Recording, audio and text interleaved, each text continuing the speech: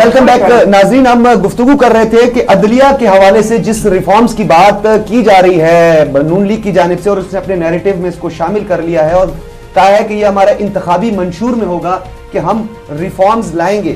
اور ہم سے عمران فیروز ملک صاحب یہ فرما رہے تھے کہ ججز کے حوالے سے بھی کرائٹیریا کو نظر انداز کر دیا جاتا ہے۔ سپریم جوڈیشل کونسل کے حوالے سے بھی انہوں نے بات کی اور انہوں نے کہا کہ یہاں پہ بھی پولیٹیسائز ہے معاملات یعنی ججز کے حوالے سے بھی انہوں نے اس طرح کی بات کی۔ صدیق الفاروق صاحب نے ہمیں ٹیلی فون لائن پر جوائن کیا ہے مرکزی رہنما ہیں اور عدلیہ کے ساتھ پچھلے دنوں میں بڑا آپ کے بھی معاملات چلے۔ صدیق الفاروق صاحب بہت شکریہ آپ نے ہمیں وقت دیا۔ جی آپ کی نوازش۔ جی بہت شکریہ۔ صدیق الفاروق صاحب آپ نے بھی عدلیہ کا سامنا کیا ہے۔ یہ کون سی آپ لوگ ریفارمز لانا چاہ رہے ہیں؟ یہ کون سی عدالتی اصلاحات کی بات آپ کر رہے ہیں؟ بہت شکریہ۔ عدالتی اصلاحات ہی نہیں پاکستان میں تو ہر شعبے میں اصلاحات کی ضرورت ہے۔ جی۔ اور عدالتوں میں آپ نے دیکھا کہ یہاں مارشل لا لگا اور اس کے تمام آئین شکن اقدامات کو جی۔ عدلیہ نے یعنی جائز قرار دیا یہاں تک کہ آئین میں تسلیم کا اختیار بھی دے دیا۔ جی۔ یعنی ایک طرف اب جب ہم آئین میں جو ہے اصلاحات کی اور ترامیم کی بات کرتے ہیں تو بہت سے لوگ کہتے ہیں کہ جی کانسٹیچوئنٹ اسمبلی نہیں ہے یہ۔ جی۔ لہذا بنیادی جو چیزیں ہیں ان میں کوئی تبدیلی نہیں لا سکتے آپ۔ جی۔ لیکن جو پارلیمنٹ نہیں تھے عوام کے نمائندے نہیں تھے ان کو عدلیہ نے دے دیا اور وہ بھی عدلیہ تھی۔ پھر اس کے علاوہ عدلیہ جو حدود سے نکلتی ہے باہر اور اس پر عمل درآمد بھی ہو جاتا ہے۔ ٹھیک ہے۔ اور بعض لوگ با اختیار لوگوں کو بلا بلا کے کہتے ہیں کہ ہم پیچھے کھڑے ہیں۔ جو فیصلہ دیں گے ہم اس پر عمل درآمد کروائیں گے۔ کون کہتے ہیں حالانکہ ان کا کوئی اختیار نہیں ہے۔ وہ بھی اپ- وہ بھی اپنے آئینی حدود سے باہر نکلتے ہیں۔ سر یہ کون کہتے ہیں؟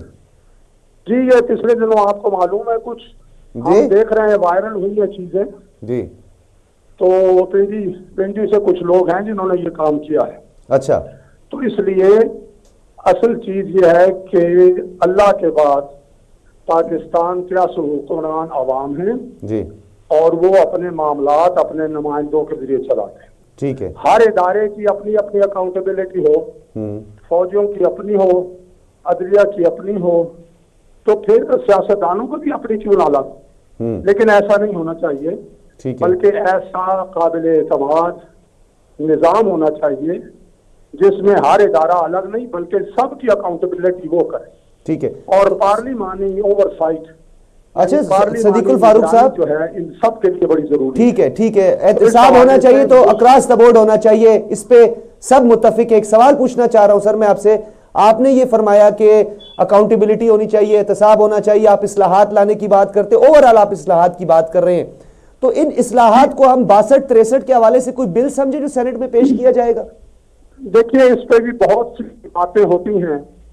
صادق و امین کے حوالے سے بہت لوگوں کا یہ خیال ہے کہ صرف یہ رسول اللہ صلی اللہ علیہ وسلم کی ذات کے حوالے سے تھا۔ جی۔ حالانکہ اس وقت کے معاشرے میں رسول اللہ صلی اللہ علیہ وسلم کو صادق و امین جی۔ تو آپ کی نبوت سے پہلے قرار دیا گیا۔ اس معاشرے میں صادق اور امین کے لفظ رائج تھے یہ دونوں الفاظ۔ ٹھیک ہے۔ اب بھی یہ بات کہ اگر صادق و امین چاہتے ہو کہ وہ نماز کا بھی پابند ہو وہ زکوٰۃ بھی دے رہا ہو وہ یہ ساری اس میں کوئی برائی بھی نہ ہو تو وہ صادق و امین ہوگا۔ ٹھیک ہے۔ تو کیا یہ معاملہ جو ہے اس کا کوئی کوئی کسوٹی کوئی اس اس کو اس کا جائزہ؟ کیا ہے؟ تو اس طرح سے میں یہ سمجھتا ہوں اور میری پارٹی بھی یہ سمجھتی ہے کہ ہم نے ریاست پاکستان کے مفاد کو سامنے رکھتے ہوئے جی۔ پاکستان میں معاملات کو درست سمت میں جاری رکھنے کے لیے جی۔ اور بالخصوص ماضی کا جو تجربہ ہے جس میں یہ ریاست دو ٹکڑوں میں صدیق۔ الفاروق صاحب بہت معذرت کے ساتھ بڑے ادب و احترام کے ساتھ آپ ریاست پاکستان کی بات کر رہے ہیں ریاست پاکستان کے وقار کی بات کر رہے ہیں۔ ابھی تو آپ پنڈی کی طرف بھی اشارے کر رہے ہیں۔ تو یہ ریاست پاکستان کے لیے آپ کا مثبت رول؟ جی ذرا دوبارہ سوال کیجیے۔ میرا سوال یہ سر آپ ریاست پاکستان کے مفاد کی بات کر رہے ہیں۔ کیا یہ ریاست پاکستان کے مفاد میں درست ہوگا کہ آپ جس طرح اداروں پر تنقید کرتے ہیں اور آپ نے ابھی راول پنڈی کا ذکر بھی کیا؟ دیکھیے میں نے پاکستان کے مفاد میں ہی تو یہ ذکر کیا ہے۔ جی۔ یہ تمام سروسز تمام ادارے اوور آل جو آئین کہتا ہے اور ساری دنیا کا جو مسلمہ جتنے ملک اس وقت جمہوریت جمہوریت ہے جن میں وہاں پارلیمنٹ بھی بالا دست ہے۔ ٹھیک ہے۔ ہم اس پاکستان کے مفاد میں یہ چاہتے ہیں کہ ہر ادارہ اپنی حدود میں رہے۔ ٹھیک ہے۔ کیونکہ پاکستان جو ٹوٹا ہے تو اس میں جنہوں نے توڑا ہے وہ آپ دیکھ لیجیے جی سر اس توڑ یعنی جوڑ میں سر بڑے بڑے نام ہیں سر پولیٹیکل بھی بڑے بڑے نام ہیں۔ بس ایک جملہ اور سن لیں۔ سر یا خان جب ساڑھے پانچ نکات بھٹو اور مجیب میں اتفاق رائے ہو گیا اس کے چھ نکات تھے۔ جی۔ اور آدھا نقطہ جو تھا وہ انہوں نے کہا جی جو اسٹوڈنٹس ہیں ان کا ہے وہ بھی ہو جائے گا۔ ٹھیک ہے۔ تو یا خان دوڑ کے سامنے آ گیا کہ نہیں میرے اختیارات کی بات کرو میں تو ملکہ الزدہ سے نہیں بننا چاہتا میں با اختیار صدر رہنا چاہتا ہوں۔ تو اختیارات پر ملک ٹوٹ گیا۔ جبکہ صدر جو تھا وہ بالکل جیسے اب صدر ہے ویسے ہی آئین پاکستان کے آئین میں صدر ہو سکتا ہے۔ ٹھیک ہے۔ تو اس لیے پنڈی یا غیر پنڈی نہیں میں ہر پاکستانی کے حوالے سے بات کرتا ہوں۔ ٹھیک ہے۔ کہ ہم سب کو اپنی حدود میں رہنا ہوگا۔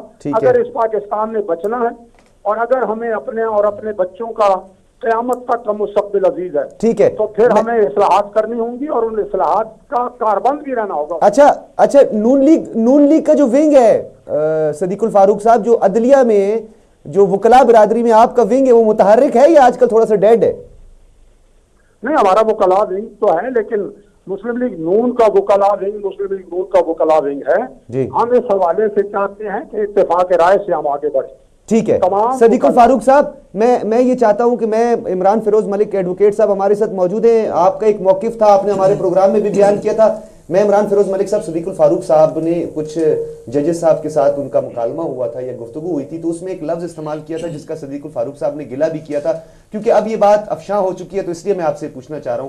چیف جسٹس صاحب نے محترم آلہ عدلیہ کے چیف جسٹس صاحب نے بڑے احترام کے ساتھ انہوں نے صدیق الفاروق صاحب کے حوالے سے بات کی۔ انہوں نے کہا وہ اخبار فروش یا وہ اخبار بیچنے والا کہاں پہ ہے؟ اخبار اکٹھی کرنے والا۔ اخبار اکٹھی کرنے والا کہاں ہے؟ یہ انہوں نے خود بھی کہہ دیا۔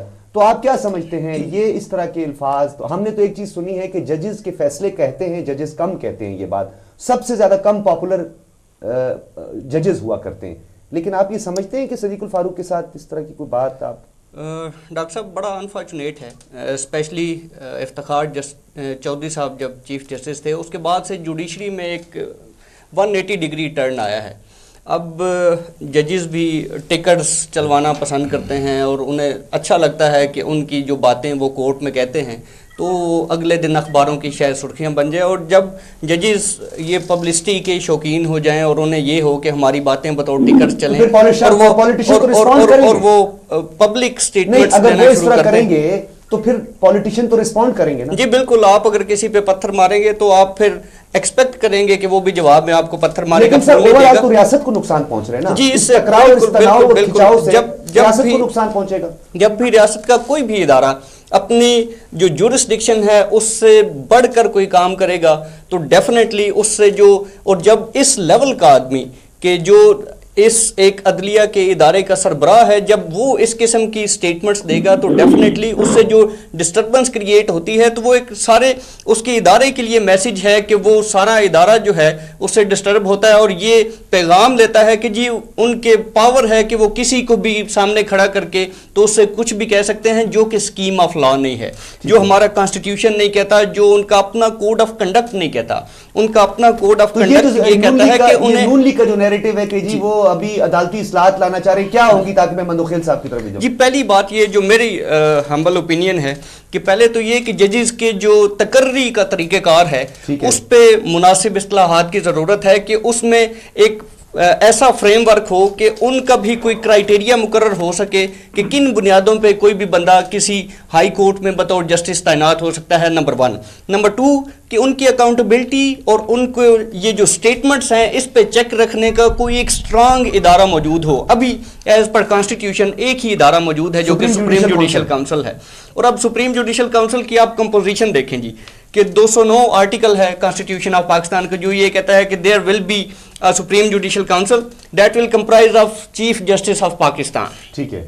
اینڈ ٹو سینئر موسٹ ججز اور پھر دو ججز جو بھی سینئرس ہیں ریلیونٹ ہائی کورٹس کے۔ ٹھیک ہے۔ اور اگر آپ کی grievance chief justice of Pakistan سے ہو تو آپ کے پاس کوئی ریمیڈی موجود نہیں کوئی ریمیڈی موجود نہیں۔ جی مندوخیل صاحب میں صدیق الفاروق صاحب کے پاس دوبارہ جانا چاہتا ہوں۔ صدیق الفاروق صاحب کے اس بیان کو اور ان کے اس موقف کو آپ کس طرح دیکھتے ہیں؟ جس طرح انہوں نے فرمایا کہ آپ جی جی جی۔ بالکل درست ہے۔ جی۔ میں جب یہ کروں گا کہ پریسیڈنٹ سیٹ ہو چکا ہے۔ جی۔ کہ جب چیف جسٹس کے خلاف اپنا سفار صاحب کے خلاف آیا ریفرنس تو سپریم کورٹ نے سنا۔ ٹھیک ہے۔ پوری فل سپریم کورٹ نے۔ تو اس طرح کی چیزیں جو ہیں یہی اصلاحات میں شامل ہو جانی چاہیے۔ یہ پریسیڈنٹ تو ہے۔ ٹھیک ہے۔ باقی میں جو موقع میرے بھائی نے بیان کیا ہے میں اس سے سو فیصد متفق ہوں۔ جی۔ اور یہ میں اس لیے اتفاق کرتا ہوں یہ اصلاحات ہم اس لیے کرتے ہیں کہ عدل و انصاف میں ٹھیک ہے۔ عدل و انصاف کے بارے میں. جی صدیق الفاروق صاحب میں چاہتا ہوں کیونکہ یہ تقوی کے قریب ہے تو میں عرض کروں جب تک تقوی نہیں ہوگا۔ جی۔ ججوں کے دل اور دماغ میں جی۔ جب تک قرآن و سنت ان کے ذہن میں نہ ہو اور دل میں خدا کا خوف نہ ہو وہ انصاف کر سر یہ کہیں پہ بھی نہیں ہے قرآن و سنت اور اللہ کا خوف کسی کو بھی نہیں۔ مندوخیل صاحب سے میں چاہتا ہوں کہ آپ کی گفتگو پہ کوئی رسپونڈ کرنا چاہتے ہیں۔ مندوخیل صاحب آپ سابق ڈی آئی جی بھی رہے میں نے آپ کو کہا کہ آپ کو میں اسٹیبلشمنٹ ہی کہوں گا۔ آپ اسٹیبلشمنٹ ہمارے ساتھ موجود ہے کیا کہیں گے آپ صدیق الفاروق صاحب تک؟ صدیق الفاروق صاحب کا اپنا اوپینین ہے۔ میں تو یہ کہتا ہوں کہ ابھی اگر ان کو چھتیس سال بعد خیال آیا کہ جوڈیشل سسٹم کو ٹھیک کریں بیٹر لیٹ دین نیور چلیں ٹھیک ہے۔ لیکن اگر اس کے بعد ابھی ان کو مزید چھتیس سال چاہیے تاکہ یہ جوڈیشری کو ٹھیک کریں پورا سسٹم اتنے عرصے میں سر تو یہ محاورہ ٹھیک ہے نا دب نہیں ادب نہیں۔ وہ یہ تو دیکھیں نا تھوڑا سا جھٹکا سمپل لگا چیز ہے لی سنگاپور کے پرائم منسٹر کو لی کو دیکھ لیں، اس نے کہا کہ I two options one was to fill the coffers of my family and to to make an empire for my family on on the other hand it was my country سات سو بیس اسکوائر مائلز ہے total Singapore پورے کا پورا سات جی آئی سو Singapore میں سات سو۔ بیس میل ہے ٹوٹل لیکن وہاں پر یہ کھچاؤ تناؤ نہیں ہوتا وہ اس لیے نہیں ہوتا ہے کیونکہ لی نے اپنے جب پینسٹھ میں آیا تو اس نے اپنی جیبیں نہیں بھری۔ یہ ملیشیا کا ملیشیا کا پرائم منسٹر جو اس کے بعد آیا مہاتیر کے بعد اس نے seven hundred million U S dollars America بھیجے۔ تو انہوں نے کیس کیا کہ بھائی یہ کدھر سے کیش لے کے آئے ہیں؟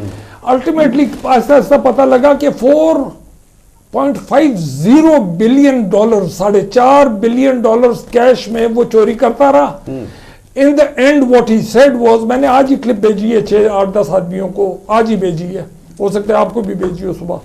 لیکن وہ کہتا ہے کہ جی ان کا کیا ہے؟ وہ کون ہوتے ہیں پوچھنے والے؟ لیکن اچھا، اس کا خلاصہ یہ ہے نا سر دیکھیں اس کا خلاصہ یہ ہے سنگاپور ابھی بھی ملائز سے ملائیشیا سے پانی لے رہا ہے آزادی کے بعد بھی۔ اتنی انڈرسٹینڈنگ ڈیولپ ہے۔ نہیں اس کے علاوہ مطلب وہ تو آپ گئے ہوں گے وہ ایک ہی برج ہے بیچ میں دونوں سنگاپور اور ملیشیا کے پینے کا پانی بھی نہیں ہے ان کے پاس۔ نہیں اتنے ایریا میں کیا کیا نکلے گا یار؟ اچھا اب اس کے بعد جی، اس کے اس کے بعد صدیق فاروق صاحب میں ابھی آپ کی طرف ہی آ رہا ہوں۔ جب اتنے زیادہ آپ کی اٹینشن صرف کرپشن کے اوپر ہوگی جو اتنی اٹینشن آپ کرپشن کو دیں گے کہ ہر چیز کو آپ مینوپولیٹ کر کے ہر چیز کو آپ منوور کر کے کچھ جی بھائی یہاں سے کچھ نکلے کچھ یہاں سے نکلے تو اس میں ملک نہیں چلا کرتے اور یہ جو پینتیس چھتیس سال حکومت کر کے اور اب پھر دو ہزار اٹھارہ میں ووٹ مانگ رہے ہیں کہ بھائی دو ہم تمہیں سونے کی وہ کرا کے دیں گے سڑکیں بنا کے دیں گے۔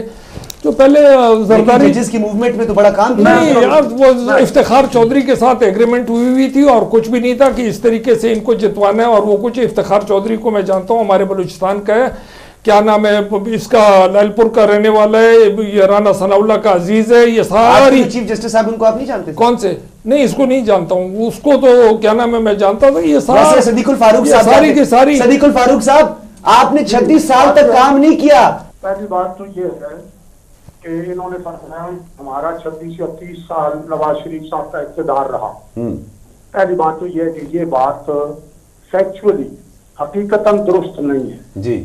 دو ڈھائی سال کو بندہ کام کرے اس کے بعد اس پر سب پر پانی پھیر دو پھر اسے کچھ عرصے کے بعد دو سال موقع ملے پھر سارا پانی پھیر دیا جائے تو اس کا مطلب اقتدار نہیں ہوتا۔ ٹھیک ہے۔ لی کوان یو اپنی ساری زندگی اقتدار میں رہے ہیں۔ میں ان سے ملا بھی ہوں ملائیشیا بھی گیا ہوں۔